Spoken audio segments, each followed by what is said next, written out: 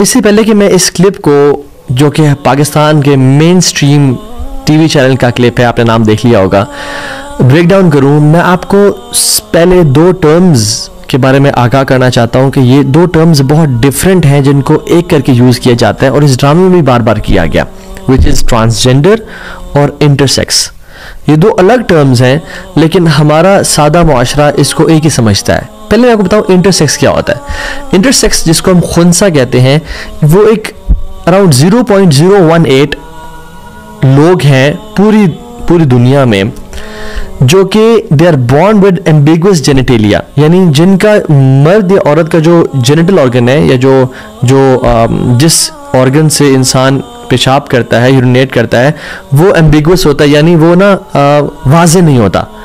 उसमें कुछ डिफॉर्मिटी होती है। ये एक एबनॉर्मेलिटी है जो कि इंसान में होती है। तो ये होता है इंटरसेक्स जो हम खुसरों के नाम से मशहूर है। लेकिन खुसरों में भी मैं आपको बताऊँगा कि अक्सर खुनसा नहीं होते। अक्सर मुखन्नस होते हैं ट्रांसजेंडर्स होते हैं। मैं इस पर आऊँगा इंशाल्लाह, ठीक है? और ये एक अल्लाह ताला की तरफ़ से एबनॉर्मेलिटी है। जिस तरह से बाय बर्थ लोगों में एबनॉर्मेलिटीज़ होती हैं फॉर एग्जांपल एक है क्लेफ्ट लिप जो होता है, जो यहाँ से इंसान, बहुत सारे बच्चे देखे होंगे जिनका यहाँ से कट होता है बिल्कुल, और उनकी जो चीज़ अलग होती है लिप जो है अपर लिप या लोअर लिप कभी कभी तो वो आपस में जोड़ देते हैं, ठीक है? जिस तरह से सी एच है इसी तरह से सी एच डी है कॉन्जिनेंटल हार्ट डिफेक्ट है जिसमें इंसान के दिल में सुराख होता है यह हार्ट का एक पोर्शन डिफेक्टेड होता है जिसको बाद में थेरेपीज़ के ज़रिए एक्सरसाइज के ज़रिए या फिर सर्जरी के ज़रिए उसको ठीक किया जाता है। इस तरह से क्लब फुट है एक इंसान का जो पाँव है वो टेढ़ा होता है इनर साइड पे। तो ये कुछ डिज़ीज़ हैं जो कि रिजॉल्व की जाती हैं थ्रू मेडिकल एग्जामिनेशन डॉक्टर्स बैठते हैं उनको हल कर लेते हैं। तो जो इंटरसेक्स है जो खुनसा बोलते हैं हम ये वो लोग होते हैं जिनके जो आ, प्राइवेट पार्ट्स हैं, वो एम्बिगुस होते हैं, यानी वो मर्द और औरत के दोनों होते हैं। ये जो बड़े होते हैं, या कुछ सालों बाद, पता चल जाता है कि जिस ऑर्गन से वो यूरिनेट कर रहा है, ठीक है?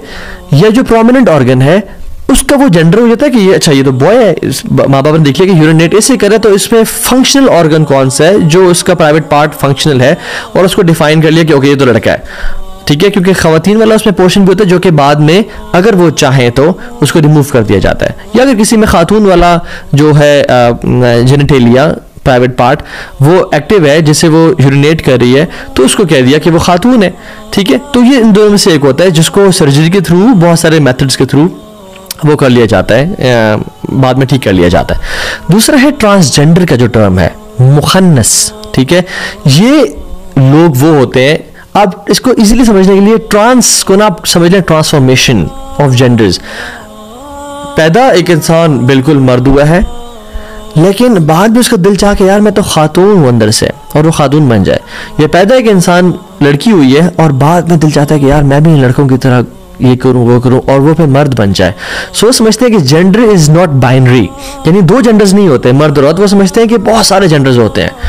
इसको बोलते हैं जेंडर फ्लूडिटी यानी जेंडर कोई दो नहीं होते, जितने मर्ज़ी जेंडर बन जाए। मर्द, औरत कुर यानी मुझे नहीं पता मर्द हूँ, औरत हूँ, मैं जो मर्ज़ी बन जाऊँ कैट बन जाऊँ डॉग बन जाऊँ हत्या कि मैं यूनिकॉर्न भी बन सकता हूँ जिसके ऐसा घोड़ा जिसके सर पे सिंग है। सो कुछ भी, वो कहते हैं कि जो जेंडर है, वो अलग चीज़ है। वो कुछ और भी। सेक्स जो है, मर्द, औरत के सेक्सुअल ऑर्गन्स जो हैं, वो हो सकते हैं। लेकिन सेक्स आपका जेंडर डिफाइन नहीं करेगा। वो आप कुछ भी बन सकते हो बाद में, बड़े होके। हालाँकि इस्लाम में है कि जो आपका सेक्सुअल ऑर्गन्स हैं, मर्द के हैं या औरत के हैं, जो आपके प्राइवेट पार्ट्स हैं, वही आपका जेंडर डिफाइन करेंगे। सो दे दे से एंड दे बिलीव जो कि वेस्ट का कॉन्सेप्ट है, कि ट्रांसजेंडर या ट्रांस वुमेन कौन होते, होती है, जिसको होता है, जो कि पहले मर्द था और उसने कहा, नहीं, मैं तो ट्रांस वुमेन हूँ, मैं भी एक खातून बन गई बिकॉज़ मैं अंदर से खातून फील कर रही हूँ। और मैं इस पर आऊँगा कि जो बच्चे फॉर एग्ज़ाम्पल बचपन से बहनों में पैदा होते हैं और वो थोड़े से उनमें ऐसी चीज़ें आ जाती हैं कि वो लड़कियों की तरह चलना शुरू हो जाते हैं। इनको थेरेपीज़ के ज़रिए ट्रीटमेंट के ज़रिए, जैसे फॉर एग्ज़ाम्पल कुछ लोगों में कुछ साइकोलॉजिकल डिज़ीज़ होती हैं, कुछ क्लिनिकल डिप्रेशन का शिकार होते हैं, कुछ बायपोलर को होते हैं, उनको ट्रीटमेंट्स की जाती हैं, उनको मेडिकेशन की जाती है, उनकी थेरेपीज़ की जाती हैं। इस तरह से इन बच्चों की भी थेरेपी की जाके उनको बिल्कुल एक नॉर्मल मर्द की तरह नॉर्मल खातून की तरह, जो जो उनका प्राइवेट पार्ट है, बनाया जा सकता है, ठीक है? लेकिन अपनी किसी ट्रेट की वजह से या अपनी सोच की वजह से कह देना कि नहीं, आज के बाद मैं ये हूँ, इस पर हम बात करेंगे this is completely wrong so इस क्लिप में जो बताया गया कि वट इज़ यानी रॉन्ग दिस क्लिप पहली बात तो ये है कि इस क्लिप में पाकिस्तान के कानून की धज्जियाँ उड़ाई गई, इस्लाम के कानून की धज्जियाँ उड़ाई गई और ह्यूमन नेचर जो अल्लाह ताला ने बनाया, इसकी भी धज्जियाँ उड़ा दी गई हैं। सररा ये ड्रामा है, जिसमें सरंग का जो सपोर्टिव सो कॉल्ड वाले साहब हैं, वो उसको इनक्रेज कर रहे हैं कि, बेटा, तुमने परेशान नहीं हो रहा। तुम्हारे पे बड़े मुश्किल वक्त आने वाले हैं। ये माशरा बड़ा ालिम है। और जब तुम बड़े हो गए तो तुम्हारी मर्ज़ी है कि तुम खातन का ड्रेस पहन लो, मामा की तरह ड्रेसअप हो जाओ मेकअप कर लो, या तुम्हारी मर्ज़ी है कि तुम फादर की तरह ड्रेसअप कर लो। और उसमें कोई मसला नहीं है, बेटा। अल्लाह अकबर। अगर तो वो बायोलॉजिकल मेल है, अगर तो वो उसके जो प्राइवेट पार्ट्स हैं, वो मर्द वाले हैं तो फिर ये कैसे कहा जा रहा है कि तुम बेशक खातन की तरह ड्रेस अप कर लेना और मेकअप कर लेना? अजीब अल्लाह यानी पाकिस्तान का जो कानून है, वो कहता है ट्रांसजेंडर पर्सन के जो प्रोटेक्शन ऑफ़ राइट्स हैं 2018 में एक्ट आया था, इसमें अमेंडमेंट्स की गई थी और वो अप्रूव की गई बाय द सेनेट की जो standing committee on human rights पे, ठीक है? इसको आप परेशान हो इन वर्ड से। मेनली ये अप्रूव किया गया लॉ है कि जेंडर के not be drive from internal feelings कि जो इंसान का जेंडर है, वो अंदर की फीलिंग्स आइडेंटिफाई नहीं करती, बल्कि उसका जो फ़िज़िकल अपेयरेंस है, जो उसके प्राइवेट पार्ट्स हैं, जो उसकी जेनेटेलियाज हैं, जिनको प्राइवेट पार्ट्स बोलते हैं, वो डिफाइन करेगा उसका जेंडर क्या है। तो हाउ कैन ए पर्सन से कि बड़े होकर तुम जो मर्ज़ी बन जाना? अजीब। और दूसरी बात यह है कि इस्लाम भी कहता है कि या एक मर्द होता है या औरत होता है। तीसरा, कोई भी जेंडर इस्लाम आइडेंटिफाई नहीं करता और हम आयात और अहादीस देखेंगे आज। तो आपने कैसे कह दिया? देखिए डीएनए के ना कुछ पैटर्न्स होते हैं। एक्स एक्स है या एक्स वाई है, ठीक है? खातन और मर्द के लिए। लेकिन कभी कभी ऐसा हो जाता है कि किसी भी वजह से एक्स एक्स वाई और एक्स वाई वाई बन जाते हैं। ठीक है, जिसको हमने खुनसा कहा या इंटरसेक्स कहा, जिनके जेनेटेलिया में फ़र्क आ जाता है। तो इनके साथ क्या किया जाएगा? हमारे कानून में भी है कि एक कमेटी बिठाई जाएगी एक्सपर्ट्स की, ठीक है, जो कि उनके राइट्स के तहत उनमें जनरल सर्जन होगा फीमेल गायनाकोलॉजिस्ट होगी प्लास्टिक सर्जन होगा, ठीक है एंडोक्रोनोलॉजिस्ट होगी यूरोलॉजिस्ट होगा या होगी साइकोलॉजिस्ट होगा, वो लोग बैठ के डिफाइन करेंगे कि ओके ये शख्स जो है, इसका एक्टिव ऑर्गन प्राइवेट पार्ट कौन सा है और ये मर्द है या औरत है? और सिंपल उसकी ट्रीटमेंट कर दी जाएगी। और मैं यहाँ पे ये भी बात करना चाहता हूँ कि जो जो खुनसा होते हैं या इंटरसेक्स होते हैं, जिनका एम्बेगस होता है, यानी बहुत क्लियर नहीं होता, उनको हमें उनकी ट्रीटमेंट के लिए माशरे को सपोर्ट करना चाहिए। उनको हमें कुछ ऐसी एबनॉर्मेलिटी है ना जिस से एक, एक बंदा डिसेबल्ड है उसके हाथ पाँव काम नहीं कर रहे हम नादर में जॉब दिलवाते हैं उनके लिए कोटा होता है।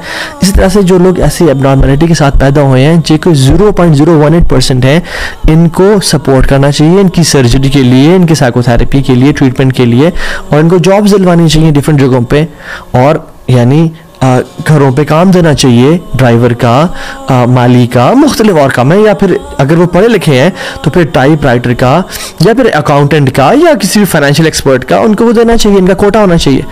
ये वो काम है जो करना चाहिए हुकूमतों को और हम लोगों की हमारी रिस्पॉन्सिबिलिटी है। और याद रखें, जो लोग एबनॉर्मल होते हैं ना, वो स्पेशल लोग होते हैं अल्लाह ताला की तरफ़ से। हमें उनको सपोर्ट करना चाहिए।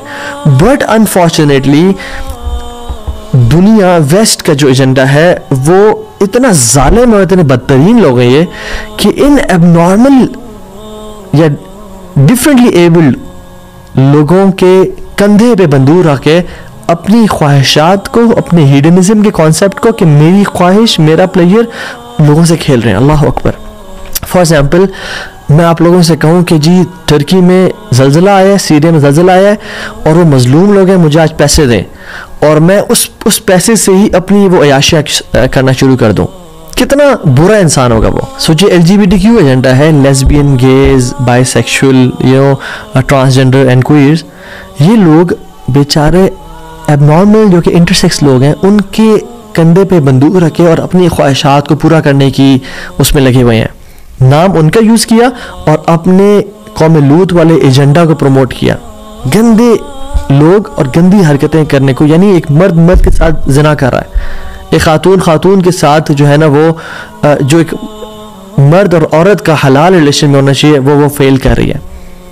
और याद रखें, वेस्ट जो आज जिस जगह पे खड़ा है ना अल्लाह ना करे, अल्लाह ना करे वो पाकिस्तान का और मुस्लिम ममालिक का फ्यूचर नज़र आता है, अगर हमने इस एजेंडा को ना रखा तो।